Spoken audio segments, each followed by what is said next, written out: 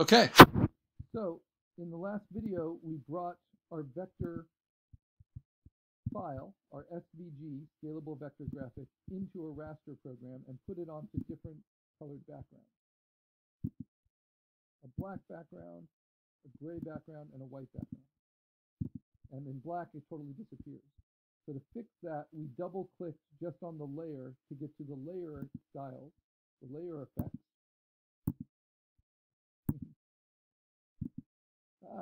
Turned all of the layer effects we used. These are the ones I recommend, stroke, outer glow, drop shadow. And you can individually adjust them, their, their opacity, their softness, their uh, settings. Oh, but here I'm muffled in the Zoom video, so let me plug in my external mic. Okay, hopefully you can hear me better. So now with each of these settings, I can adjust the different strategies for how my logo will show up. Not just on black, but on any dark background, right? So you can see that now with these settings, which I can always adjust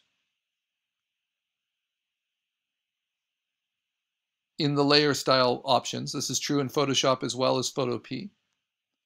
I can adjust the opacity, I can adjust the noise, the jitter, the size, the spread, and you'll see what all of those do. But I think it actually helps it on any background, not just black. And then because we're always choosing 100% white, as our color option for these offsets, when we see it on a white background, like when we print it, none of them will show up at all. So it just shows our clean black shapes. Okay, now I'm going to turn off all the backgrounds, but the white pixels for the offset are still there, even if they're at a low opacity. And now I'm going to save this file and export it as a PNG. It's a good idea to save it as a PSD first. Remember, I gave it that name when I set it up. So it is here.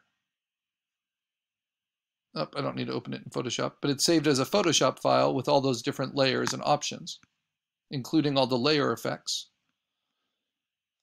Once I save it as a PSD, I can save it by exporting it as a PNG. So remember to have your backgrounds turned off because you want to use the transparency of the PNG. And the PNG, when you upload it to Canvas, will just look like white, like black clean shapes. So I'll show you what I mean.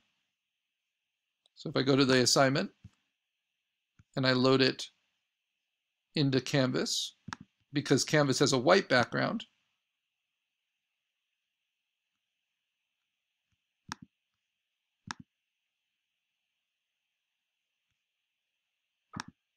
The PNG I just downloaded will just look like clean cutouts, right?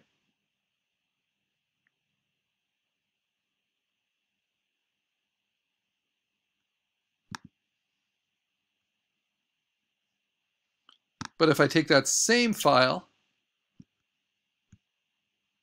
and I load it as a portfolio, a final portfolio project into Imgur, which I have the link for here, the Imgur site has a dark gray background, and the files actually have a black background.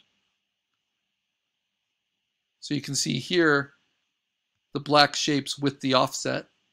Here replaced with color, here filled in with color. We're going to go over all of that. So if I add one here and I drop my PNG that I just put into Canvas in, it's going to show up on a black background, but with the offset, it will be visible. So an offset makes it really, really versatile, and versatility is important. Okay. So going back, now that we have it saved and I want to make sure it's saved in all the right places. So I'm going to move it from my downloads and save it into my folder. The PNG is the one that gets uploaded. And if I open it just in preview, it will show up on a gray background on a Mac. And you can see that the white is there. It's just a low opacity and just gives it a little bit of a glow. Kind of nice. Okay. The important thing is that this is still a smart object. It is still a vector file, so it can still be scaled to any size. So don't rasterize it. Now I can make a duplicate of that. So Command J, and I'm going to play with coloring. So there are kind of two ways you can color your black shape logo. One is to use layer effects. That's why I made a duplicate. And instead of making them white, you can play with color layer effects on your black shape logo. Come on, open up. there we go. So instead of playing with stroke and outer glow and drop shadow, though you could play with those still and just change them from white to other colors. So I could try like a red drop shadow. And that gives it some effect. The ones that are most useful for your logo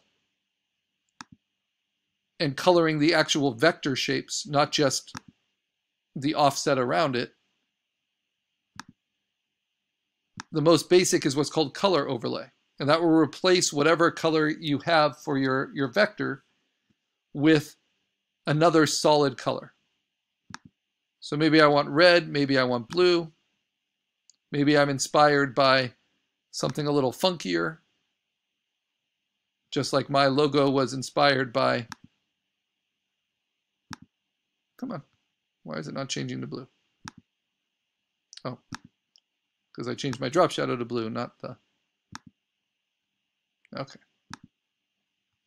But you can also play with the opacity of it and have it blend in with the black shape. So let's make it kind of a deep blue. I can be inspired by something like 80s tattoo coloring and sticker coloring. And instead of it being filled in with a solid color, even with a glow, like you see on the tongue, maybe I want to fill it in with a gradient. So that's where gradient overlay comes in. And I can pick from any of the default gradients, these are the same that are in Photoshop, but I can also customize my own. So if I'm going to be inspired by this, this kind of metallic chrome gradient, it's not going to look quite as cool as that tattoo, because it will just be an even linear gradation. But I can customize the gradient with my own colors and my own steps. So let's add a few steps here. And it looks like orange is at the bottom. But then right above orange is black. So I'll put black there. I can even set these at different opacities. Right above the black is a white.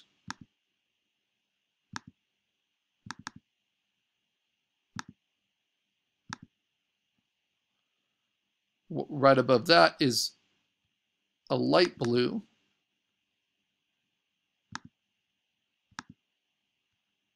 And right above that is a darker blue.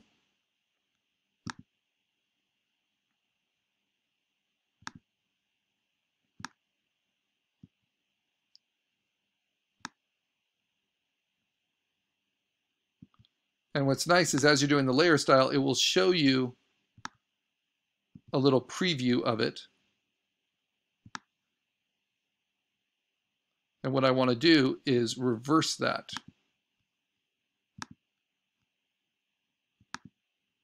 There we go. And then I can actually play with the scale, which spreads it out differently.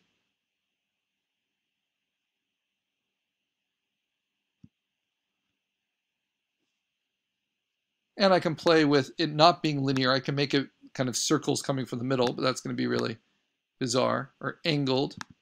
or reflected. You know, there's all kinds of different ways. And you can play with it at different angles. This is 90 degrees. I want it slightly maybe angled this way.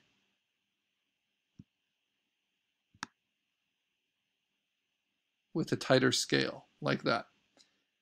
And then if I like all of that, and then I decide, well, I want to shrink that blue range a lot and expand the white range. I can add kind of secondary steps.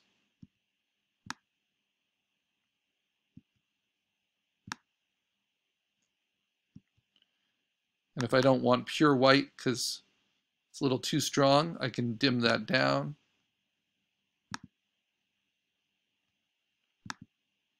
I don't know why it's not giving me my full color picker field here visually, but it's here. And I want something probably more like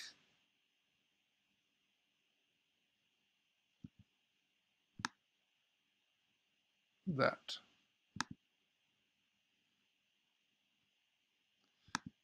Okay, so I say, okay, so I have a custom gradient. I've played with the scale. I've played with everything. I can even uh, play with the, the X offset versus the Y offset and really tweak it. So gradient's really helpful. Makes them a lot fancier. But then I can actually play with the opacity of it too and have a little bit of the black come out. And then I can add the color overlay over the top and play with that opacity. So if I want it to be overall kind of warm, come on, then let me warm it up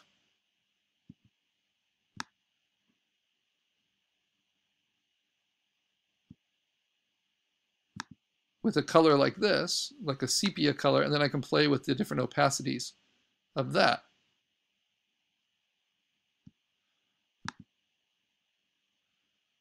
And then I can add the drop shadow underneath.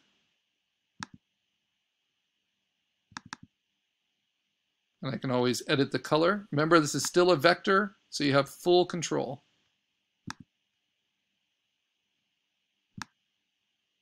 So that's kind of fun. Maybe darken it a little.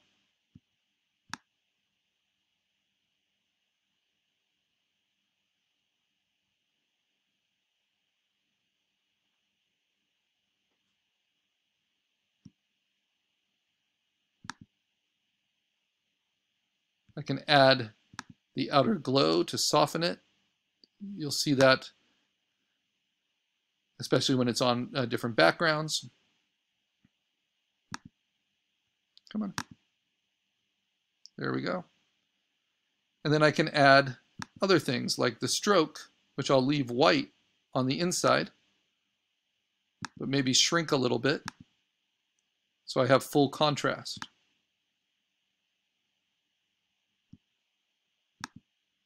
And instead of it being filled, even though a stroke is always hard-edged, instead of it being filled with normal mode, I can set it to dissolve mode. This is a way to get texture.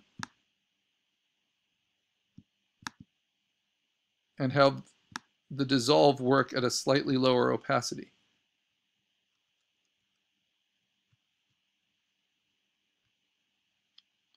Then I can do that same thing with the color overlay,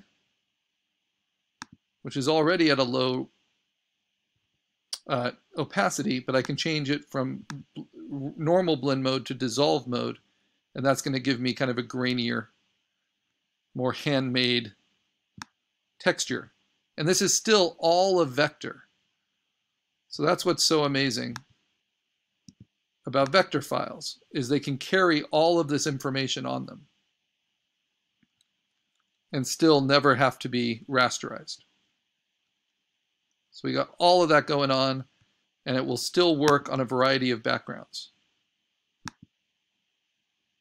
And that's why we have the gray there. It's very 80s, very tattoo-like.